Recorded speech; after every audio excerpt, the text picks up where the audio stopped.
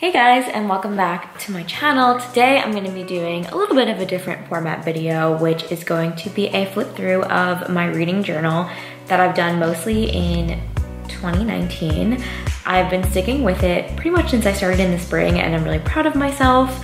Here I just have some stickers that I stuck in the front that I got from Redbubble or some various book boxes. I didn't quite know what else to do with them because they are quite large so I just stuck them on these blank pages to decorate them.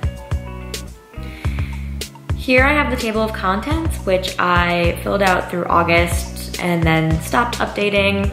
Maybe I'll go back and update it, but who knows.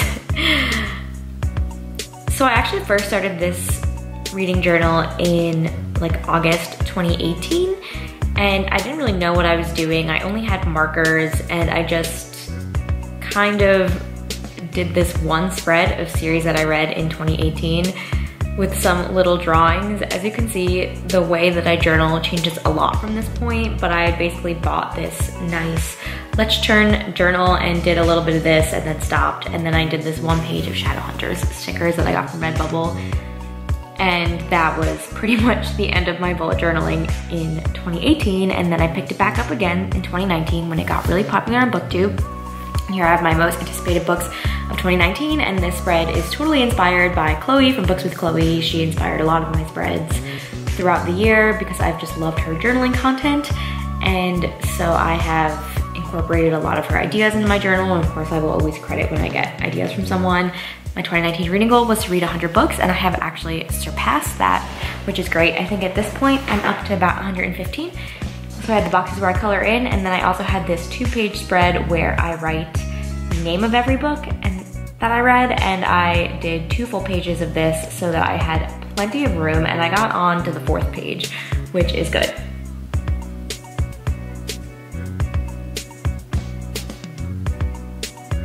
Then next I did a little YouTube tracker where I'm tracking my subscriber growth.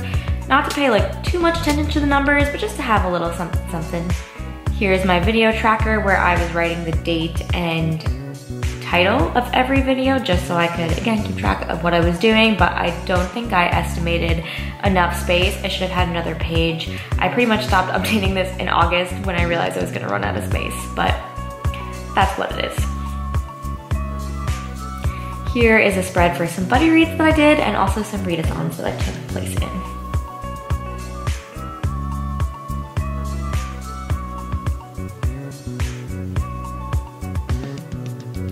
And here we go into the monthly spreads. Starting out in January, I did a little snowflake theme.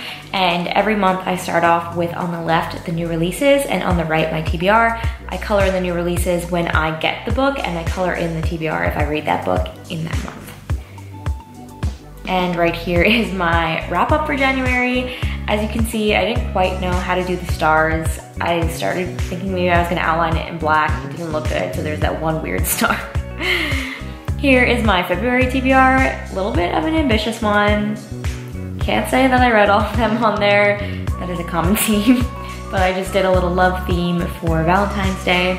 And here I did the booktube games in February and I got a lot of inspiration from Olivia Reads a Latte for this spread because she did a whole video and she was my co-host for the booktube games. So I that's spread from there. And here's my February wrap up. Again, I tried to outline the stars in black. Not sure how I like that. March was the month that I read Priory of the Orange Tree, so I did it orange themed with some oranges and orange blossoms. I actually really like the way that this one turned out and I love the way that the blue and the orange look together. Here I changed to just doing black stars. I think it came out a lot better, a lot stronger. And in April, my birth month, and spring, flowers are my thing, so I just had to do flowers this month. And it's just very springy. I really love the way that this spread turned out. And again, here's my wrap up, and I started just drawing stars in like a color that matches with the spread. And I, from here on out, I caught my groove in drawing stars, but it honestly took a few months to get here. May, I did a little watermelon theme. And I read like no books on my TBR.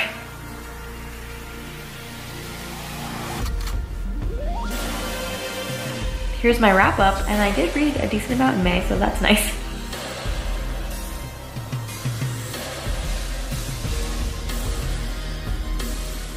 Here is my BookCon haul. I don't know how I feel about this spread.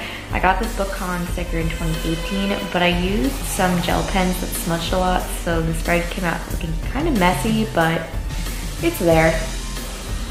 Oh, I love this June theme. I love the leaves and the way that the green looks. Also, I love doing script with like big print letters in the back, which I did for the title here. I think it came out really nicely. And here you can start to see that I start to get more into bullet journaling with different spreads rather than just my monthly wrap-ups and TBRs and whatnot. Here is a Biblio Games spread because it took place in those in June. And again, my wrap-up spread, which has that leaf theme again. Love it.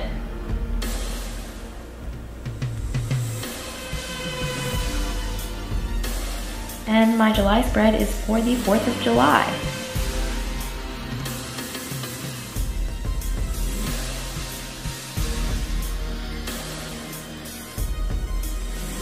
This was also the book, the month of the Book Junkie trial by Rachel Marie, and I definitely copied this spread from someone on Twitter, and I had a lot of fun partaking in that, and I read a lot because of how many prompts there were.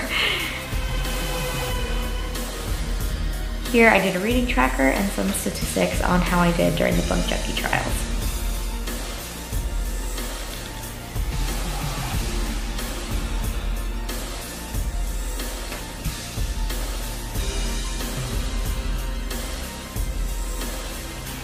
I also, in this month, took my owls. I think I doubled up on Book Junkie Trial prompts and my owls because I wanted to take my newts in August. So I printed out the prompts that I wanted to complete and I got inspiration from spread with from Chloe. um, and then here I just have a little spread with some Harry Potter doodles. This page was some spreads on some spell motions, I think taken from the app and as well as a quote page. And these I both found on Pinterest and copied it from there. Next is the reading rush. Again, this idea was taken from Chloe because she's the bullet journaling queen and has given me a lot of inspiration throughout the year. The reading rush was a lot of fun and I especially love this idea with the badges and putting them in the journal. It was really fun every time I finished a prompt to have something to stick into my journal. I really enjoyed that aspect. Here I did a spread to keep track of the challenges on Bookstagram and Booktube every day to make sure I did all of them, which I did. Here I did another most anticipated books for late 2019. That big thing of purple tape is because I messed up really, really badly, but I found that there were a lot of books coming out in late 2019 that I wasn't aware of in the beginning, so I wanted to make another spread with all the books that I was really looking forward to.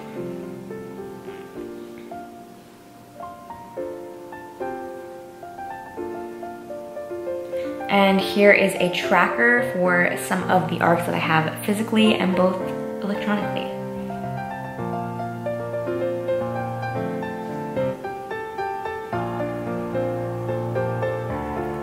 My July wrap up.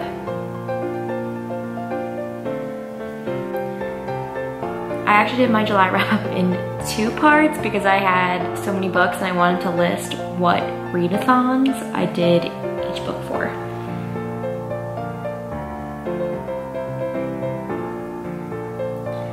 So next is my August spread. I think this might be my favorite of the whole year just because I love celestial things and I did a lot of moon and stars for this one with the silver and the gold. I just think it came out looking so cool. Here I started doing a Days read spread with audio and physical and I honestly am pretty bad at keeping up with these. I try and do them and then they don't come out. Uh, here I did my spread for the newts, which is very similar to my spread for the owls. And I did a quote page taken from Pinterest here. And I just laid out the prompts here. This is now the prompts with each book that I read and I successfully completed all of the prompts. So I'm now a magizoologist and I got my graduation certificate. This is just a little spread that I did for the Overhyped Book Club with the graphics that Michelle made for our book club each month. I only did the first two months. I should probably go back and do a spread for the rest of the shows that we've done.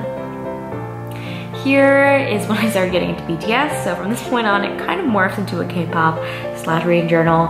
This is the readathon of the Soul that I did, and I just had a lot of fun. I did this cute little spread to keep track of all the prompts. And here I just got a bunch of stickers off of Redbubble and made a spread of them.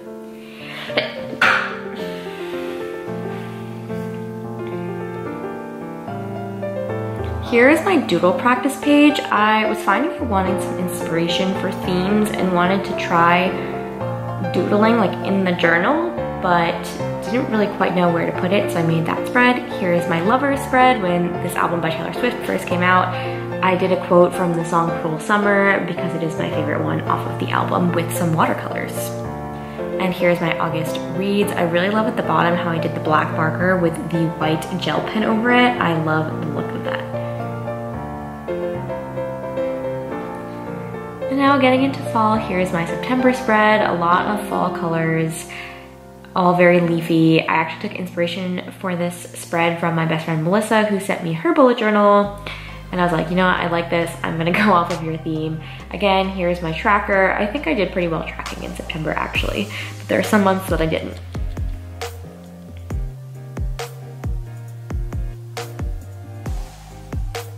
Here, these are the BT21 characters. I actually had a lot of fun. I free-handed these guys from just looking at things on Pinterest. And I find the more that I'm doing in my journal, doodling, freehanding stuff, I'm actually getting a lot better at it. So that makes me happy because I never thought that I could draw, but apparently I can somewhat. Here's just a little collage I did of BTS albums. So as you can slowly see me descend into being an ARMY.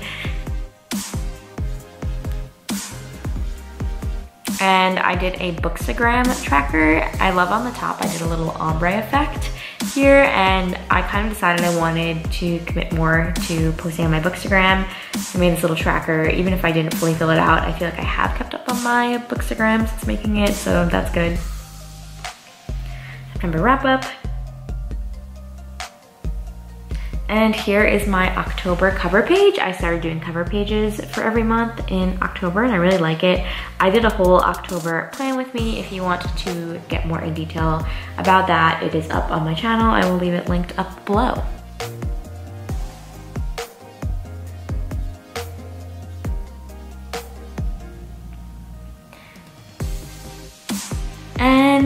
This is a little spread I did because Isabella from of Pages got me these photo cards of V from BTS. So I put her little note in there and wrote something nice because I was just feeling the emotions. I love the pink and purple ombre. And here I did a whole Harry Potter spread in October because I'm rereading and rewatching the movies. Have I finished any of them yet? No, but we're not gonna talk about that today. I love these little footprints from the Marauders map. They were super simple to draw, but I think that they just came out looking so cool. And so here I have boxes and I will fill them in when I read the books or watch the movies. And here I did a little page for Ravenclaw because I have to rep my house. In case you didn't know, I'm a Ravenclaw. I also got some Harry Potter stickers from Amazon actually. I can leave that linked down below and I just threw them in my October wrap up. And now on to November. This time on my cover page, I did a calendar and I took my theme from this washi tape that I have. And I did this card stock with this Moonchild quote, which is one of my favorite songs. And unfortunately, the silver gel pen doesn't really show up well on camera, but I do think that this theme is very fall and wintry. Here I have my BTS album tracker because I am a collector in my soul and I did the French doors where you like cut half the page and then put some washi tape to cover how bad of a job I did at cutting straight. Um, and I love that I did it on the side. I just think it looks really cool. And then I just color in each one as I collect the albums, which yes, I am collecting them. Here I did a spread for Bring the Soul, which was a BTS movie that I saw. I saw it actually after only liking the group for like a week or two and that's when I like fell in love with them. Here is a spread for the Love Yourself, Speak Yourself movie that I went to go see. It's actually the first time I ever went to see a movie by myself. And it was a really fun time. Here I did a spread for the different K-pop albums that I like that aren't BTS. I've just been descending into really loving K-pop and it's been a really, really fun time. And here's my November wrap up. I love these little trees that I drew at the bottom. It's just so wintry. A lot of gold and silver colors. And now moving on to December. I did a whole December journal with me, but I just love the way that this cover page turned out.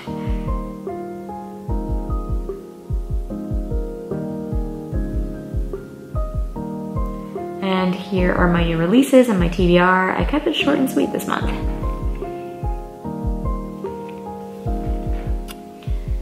Little quote page and my um, days read tracker. As you can see, I really didn't keep up with it. I also haven't really been reading that much, but like I have read more than one day this month. Here is a little Christmas countdown and a Christmas wish list. I got these ideas from Amanda Rach Lee. She is like the very famous bullet journal booktuber not a booktuber, journal tuber. And here's my ATEEZ album tracker. And with this one, I got to put some little group photos in there. ATEEZ is quickly becoming one of my favorite groups. And here I did, again, just a little French door to put the different albums on there and I'm collecting them. And this is my last spread. I decided I wanted to do a spread of all the different videos that I made this year and this turned out to be much more ambitious than I thought. Because um, I've made a lot of videos in 2019 and I'm really proud of myself for all of the effort that I've put in over this whole year.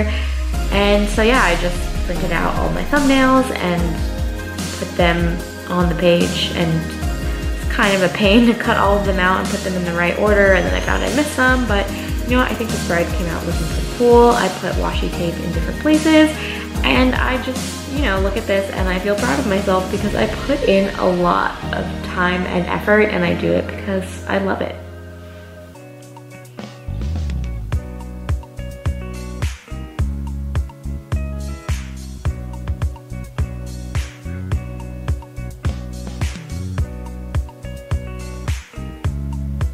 And so we are nearing the end of the flip through. Honestly, 2019 has been a pretty good year for me. I really found a lot of hobbies that I love, including K-pop and bullet journaling, and it's just brought a lot of fun and a lot of joy into my life, and I'm so happy to have this. As you can see, that's about as much as I have left in my journal. Thank you so much for watching and look forward to more bullet journal content in 2020 have some fun, read some books, and I will catch you guys in the next one.